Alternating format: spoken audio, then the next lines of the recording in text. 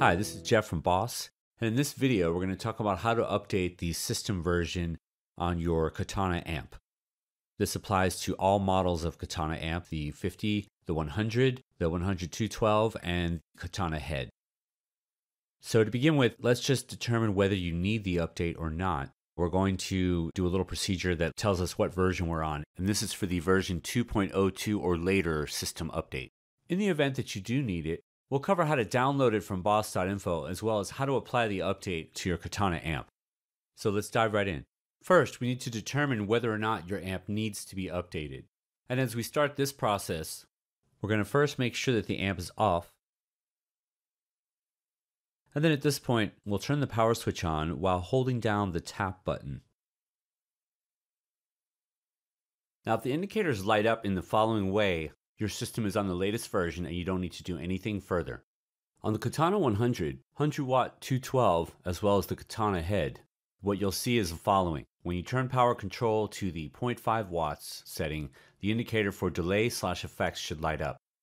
When you turn the power control switch to the 100 watt setting, the indicator for delay slash effects should also light up.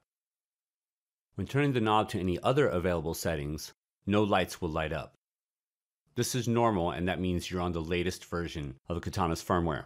If any other lights light up instead of what was just described, that means you're not on the latest Katana system version and you want to update to the latest one. For the Katana 50, you turn the power control to 0.5 watts. Again, the indicator for delay slash effects should light up. When you turn the power control switch to the 50 watt indicator, the light should also light up for delay slash effects. And once again, if the indicators light up in a different way than the way I've shown you in this video, please go ahead and perform this update.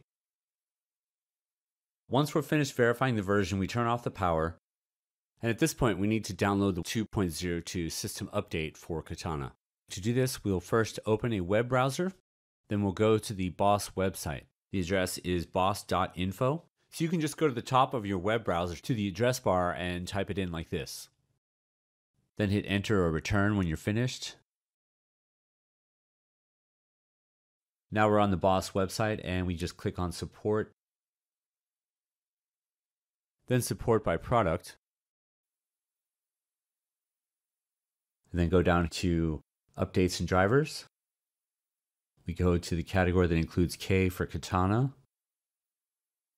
And we'll click on the Katana head because that's the product we're updating today but you'll want you to pick the download that goes with the product you have. So moving forward, we will click the Katana System Program link. And here are the instructions that I've been covering about how to tell the version as well as the procedure for the update, but we're going to cover this in the video. So now at this point, you'll scroll down to the bottom and click I agree. Then you'll click the download file button, and depending on the browser you happen to use, you may see different behavior than what you see on my screen. And just to be clear, I am currently using a Windows machine on the Firefox browser. So if you use Chrome or Internet Explorer, you might have a different behavior that occurs while downloading the file. Just make sure you know where your browser's download folder is set to in order to quickly access the download we just got. So once I've clicked download file, what happened is it's now in my downloads folder and in this browser I can just simply click on this downward pointing arrow to see if it's downloaded yet. In this case it is. And I can just click on it and you see there's the actual folder. So at this point, we can drag the folder out and drop it onto our desktop to be copied there. Alternately, we can click the downloads button again. Right click the file you just downloaded in the list that pops up and choose open containing folder. Doing this now shows me where this folder is on my desktop, which is where it downloaded, and I can then unzip it by clicking into it. And there's our folder again that we need to extract out of this zip file to be used during the update procedure. Now that you've got that file downloaded, we can move on to the next step in this procedure. Before we go any further, just make sure you're not connected between the amp and your computer via USB yet. And then at this point, you're going to adjust the master knob to the minimum setting. And we're going to turn on the power while holding both channel 1 and panel tone setting buttons. The next step we'll take in this process is to connect a USB cable coming from our computer to the Katana's USB port. Once you've done that, the indicators for channel 1 through 4 will stop flashing and stay lit. At this point, we'll go back to the computer And you should now notice a Boss Katana hard drive icon. And once you've confirmed that, just simply double click on the downloaded folder you got from the Boss website. And as you can see inside, there are two files named katanaarm.bin and rominfo.txt. These are the two files we'll be using to update the Katana amp. And so at this point, all you need to do is select and drag both of those files and drop them over the Boss Katana hard drive icon. Now, it's very important to remember before proceeding any further that you do not want to grab the whole folder that they're inside. You want to grab only the files that are inside that folder. If you do end up grabbing the folder by accident instead of just the files, you run the risk of corrupting the firmware inside and potentially damaging your katana. That's all you have to remember, just get the files themselves, not the folder. So we copy them over.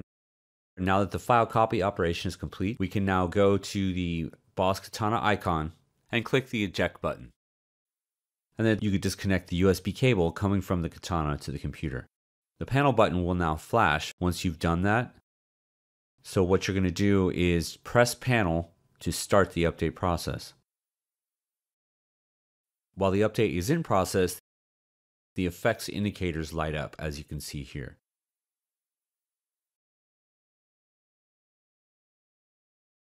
When the update is finished, the effects indicators slowly flash simultaneously.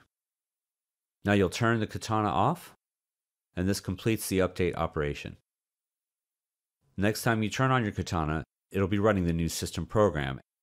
Upon completion of this update, you'll also want to make sure you're on the latest USB driver for the katana, as well as make sure you update to Boss Tone Studio for Katana version 2, or you may find the amp does not seem to be working properly with your computer.